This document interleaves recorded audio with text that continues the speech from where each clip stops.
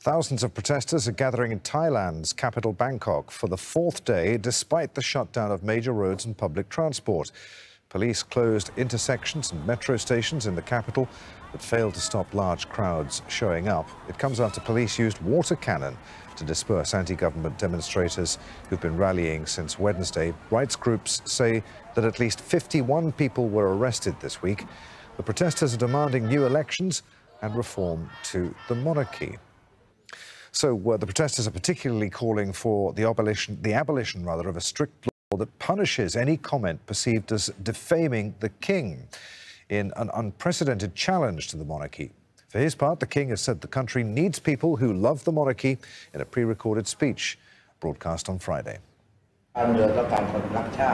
Thailand needs people who love the country, people who love the institution of the monarchy.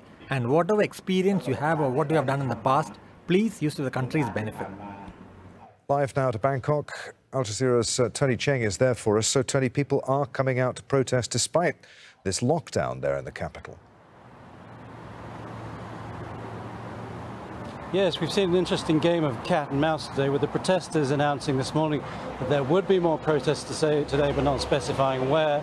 Uh, the uh, police, in turn, have tried to lock down the centre of Bangkok, and in characteristic style, the protesters have started moving. There are three different protest sites outside Bangkok, but just on the edge of the suburbs, I should say. Uh, they came uh, about it two hours ago in very large numbers. We're at one of those sites, Lat Phrao, in the north of Bangkok. Uh, there are still lots of students around. What is interesting, however, is uh, unlike the previous protests we've seen over the last three days and over the last two months, because they have no focal point and because a lot of their leaders have been taken into custody, uh, there are lots of separate speakers, people just holding up megaphones, speaking to smaller crowds. It doesn't have that unifying feel that we've seen so far. That said, there are those universal chants. They want the Prime Minister to get out. They want, they've been talking about their taxes, referring to the reform of the monarchy, and particularly talking about the release of their friends. And, and that is one of their key demands that those protesters who've been released uh, are released immediately and uh, the investigation of those who've disappeared in the last couple of years takes right. place in a full and transparent manner. So these protesters have defied the, the law on uh, on uh, gatherings of, uh, of more than five people or six people. Uh, what's been the reaction from the police?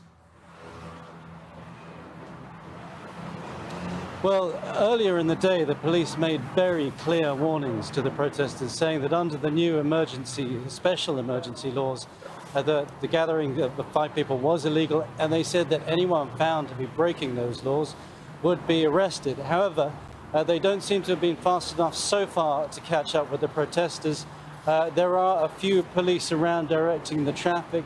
Uh, we are here at a major intersection, so uh, the fact that there are thousands of students outside in the middle of the road has caused uh, some fairly significant traffic problems.